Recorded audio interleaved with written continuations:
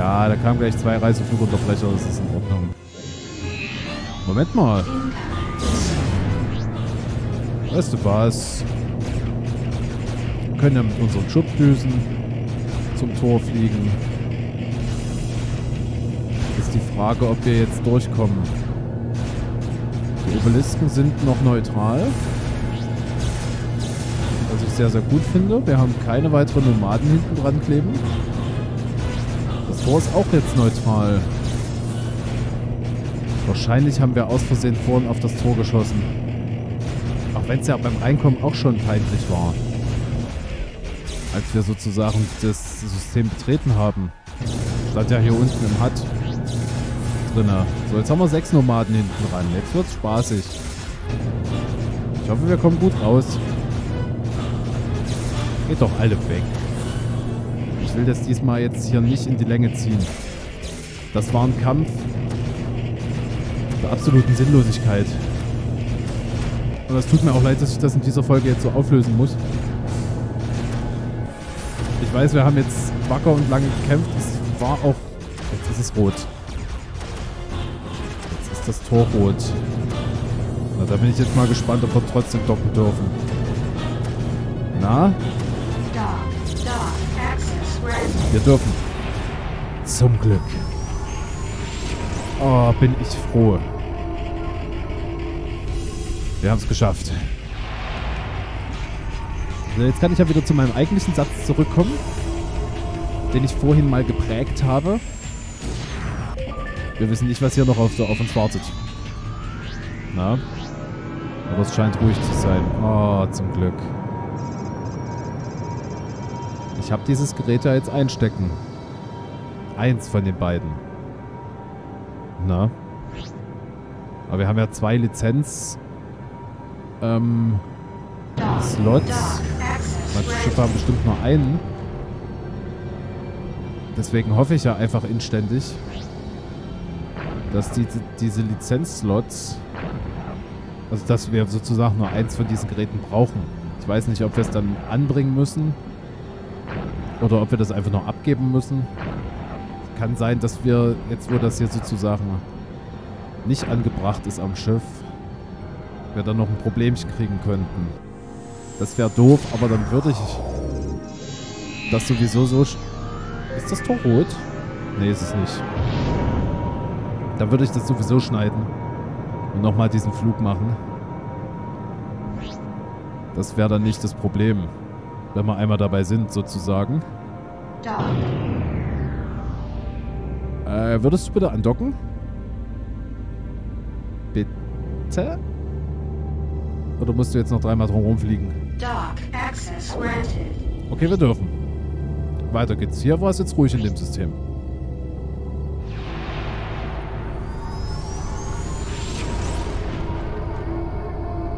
Zumindest so ruhig, dass wir das erstmal hingekriegt haben. Nächstes System. Hier sind ja auch die Handelsrouten, die uns ja verdammt schnell hier durchbringen. Das ist das System. Jetzt müssen wir gucken. Das System ist verdammt groß. Und da geht es ja dann nach Askis. Was uns dann sozusagen zum Hypertor bringt. Es kann durchaus passieren, dass das Hypertor dann bewacht wird. Das geht mir so durch den Kopf. Das wäre doof. Aber nicht auszuschließen. Das werden wir aber sehen müssen. Es kann doch sein, dass jetzt nichts weiter passiert. Ja, wir sind aber offensichtlich in den Bug gelaufen. Entweder ein Bug oder, wie gesagt, ich habe aus Versehen ja vorn auf das Tor geschossen in meinem halben Frust, dass wir nicht durchkommen, aber wir sind ja vorher schon nicht durchgekommen. Deswegen, äh... Ich werte es jetzt einfach als Bug. Ich weiß es nicht. Wir haben uns neu reingeladen, wir sind nochmal durchgeflogen. Ich habe es mir, wie gesagt, auf YouTube nochmal woanders angeschaut. Wir kommen durch. Also wir wären sowieso durch das Tor gekommen. Wenn alles fehlerfrei gelaufen wäre. Es ist in dem Moment nicht.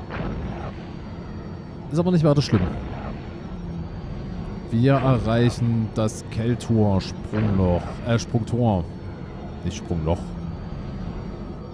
Das Keltor Sprungloch. Sag ich ja wieder Sprungloch. Ach so, führt uns weiter. Wir müssen nicht nach Ass.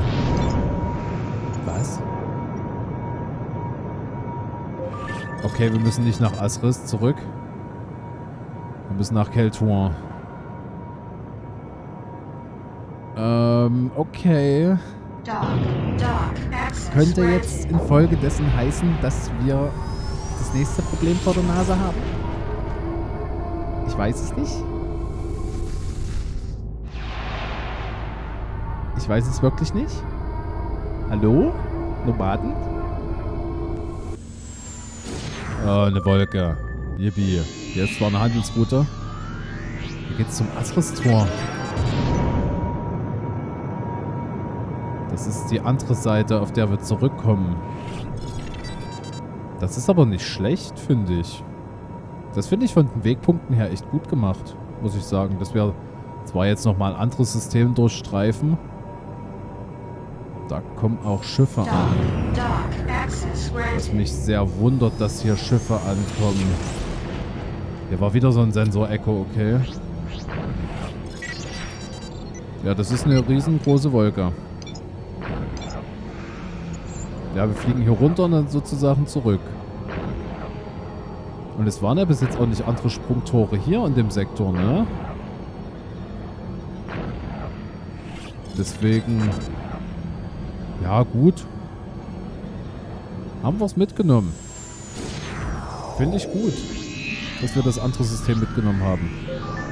Vielleicht werden wir hier auch nicht mehr hinkommen dürfen. Zumindest nicht so schnell. Na, da sind ja noch Planeten offen gewesen, die es noch zu erforschen gab. Allerdings, wie gesagt, ich weiß es echt nicht. Ich befürchte, dass wir irgendwo jetzt noch Ärger kriegen. Wie gesagt, das, das typische Nomadenschlachtschiff, von dem ich immer spreche, das, also das, das Quotenschlachtschiff, sag ich mal, lauert ja noch irgendwo. Und wenn nicht, ich krieg's auch so. Die Handelsroute ist hier gleich hier drüben. Genau, wir sind auf der anderen Seite. Kinak sind wir rübergeflogen auf dem Hinweg und Keltor kommen wir gerade her. Nach Zorro geht's da, genau. Das ist dieses Hypertor. Nach Zorro zurück in den Inner Core.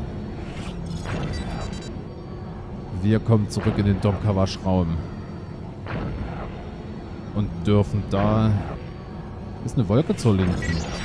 Wird aber nicht angezeigt, okay. Ähm, und dürfen da sozusagen die Waffe bringen. Zu dem Hypertor. Ich weiß echt nicht, ob das in der einen Mission auch so ein Hypertor war. Ich kann mich wirklich nicht dran erinnern. Ist ja auch egal. Wir werden mit dem Hypertor docken.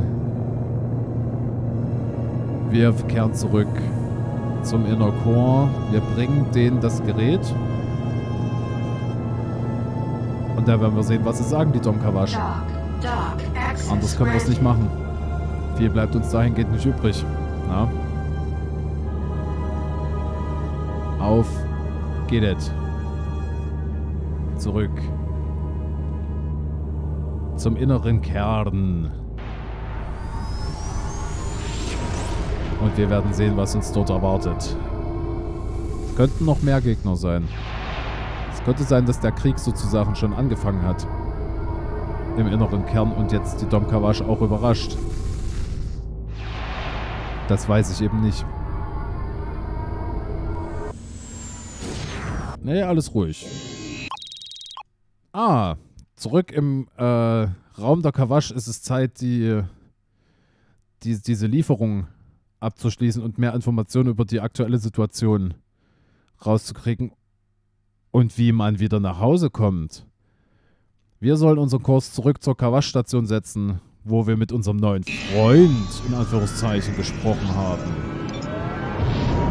Ähm, wir sind auf der falschen Seite rausgeflogen, ne? Ja, sind wir tatsächlich. Ist aber nicht schlimm. Die Dom Kavash sind uns jetzt tatsächlich freundlich gesinnt. Seht ihr das Grüne? Das ist freundlich. Ähm, okay, ich muss da mal ganz kurz ins Inventar gucken. Das Ding ist noch da. Wir haben aber Geld bekommen. Zwei Millionen. Wir haben immer noch einen vollen Frachtraum mit Zeug. Niop und Pharmazeutika. Das müsste man eigentlich loswerden, aber ich weiß noch nicht, wo wir das hier loswerden sollten. So, hier geht's nach Crawlert, hier geht's nach Travai. Sieht's denn jetzt aus? Die Ancients sind uns böse. Die Korsaren sind uns böse und die Ausgestoßenen sind uns auch böse, natürlich. Was ich sehr, sehr traurig finde, denn es war teuer, sich mit den Korsaren zu verbünden. Ich habe es, glaube ich, auch schon mal in einer der letzten Folgen erwähnt. Ähm, die Confederate Strike Force sind wir bis jetzt nur einmal drauf getroffen. Warrior ist einer der...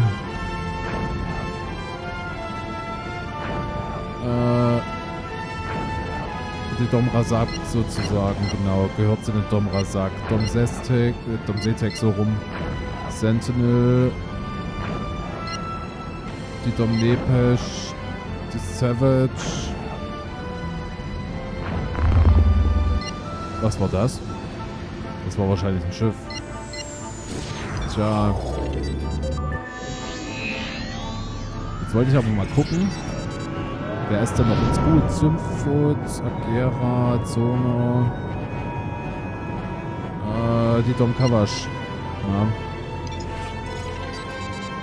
Die Dom Kavash sind uns gut gesinnt. Ich weiß nicht, was ich dazu sagen soll. Ist krass. Aber wahrscheinlich, weil wir ihnen so helfen, sind sie gleich uns positiv gesinnt. Die Aliens. Die eigentlich starken Aliens ein, mit einem riesigen Imperium. Und einen Haufen Nomaden unter sich. Aber sie sind uns gut gesinnt. Aber die Nomaden können sie uns nicht vom Hals halten. Das dauert doch ein paar Bruten.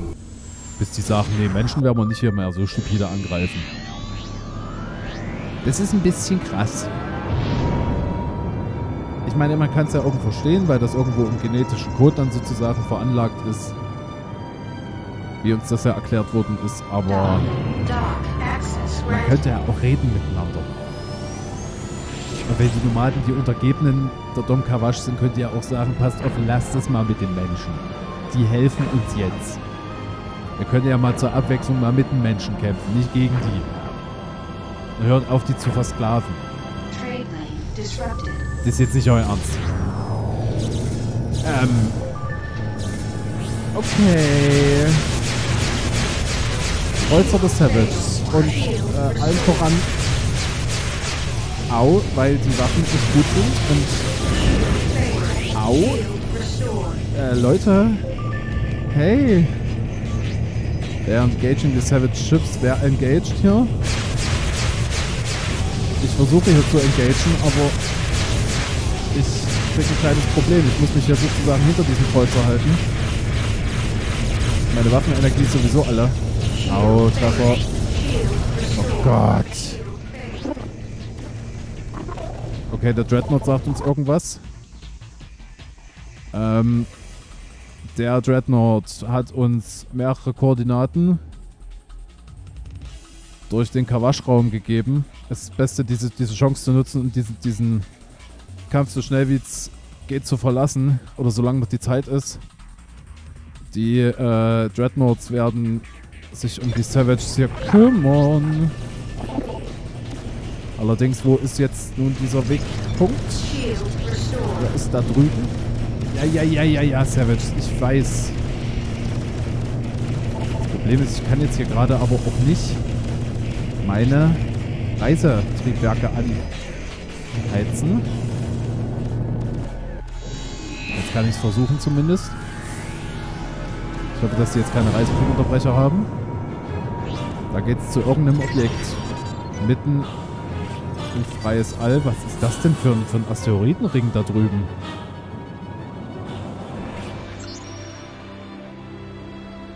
Was? You did not leave combat. Okay.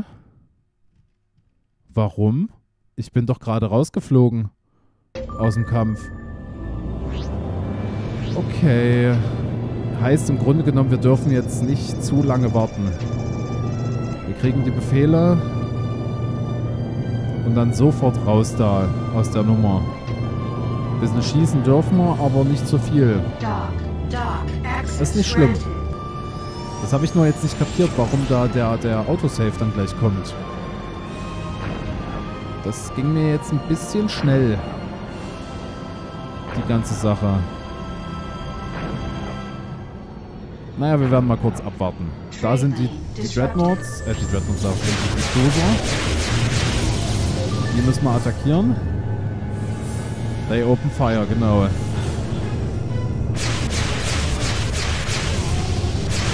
Das Ding dreht sich aber flott, ne? Für einen Kreuzer. Dreadnoughts decloaked, genau.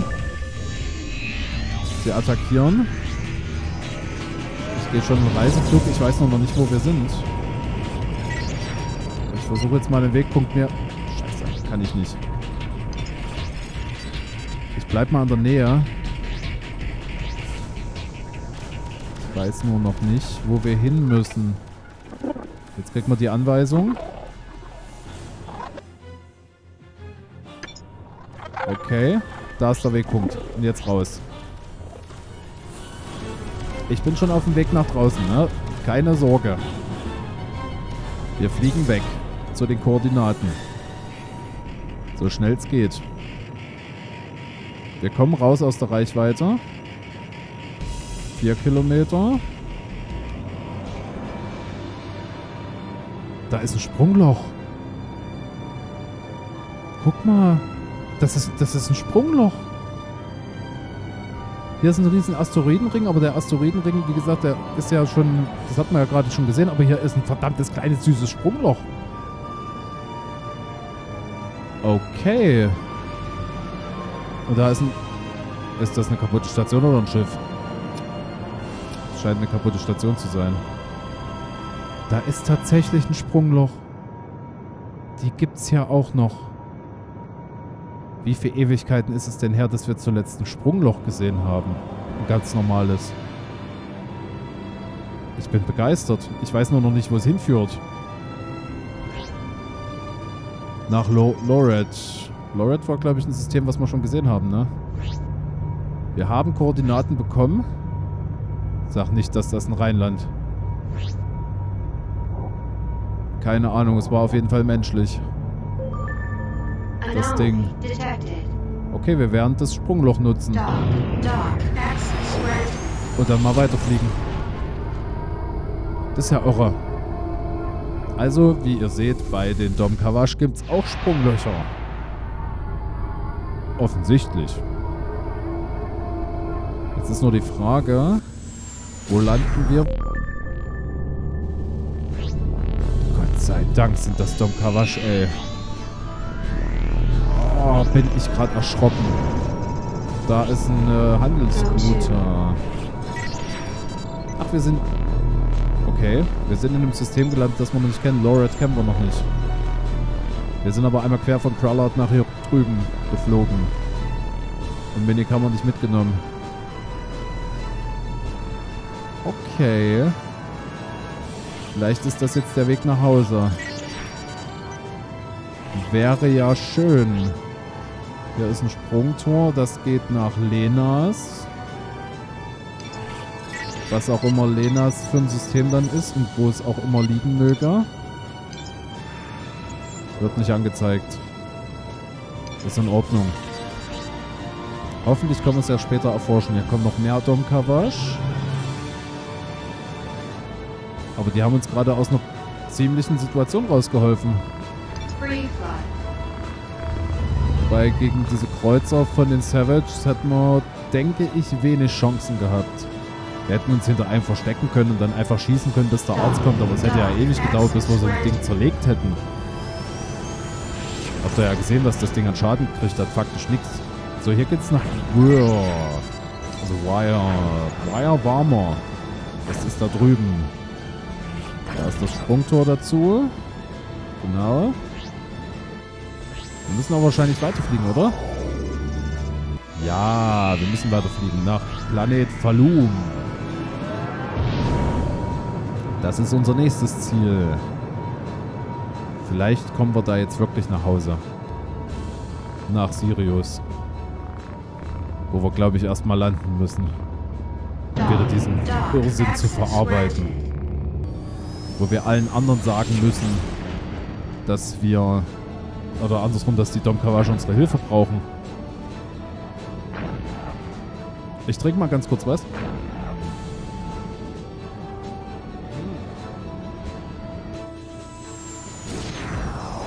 Der Planet ist riesig.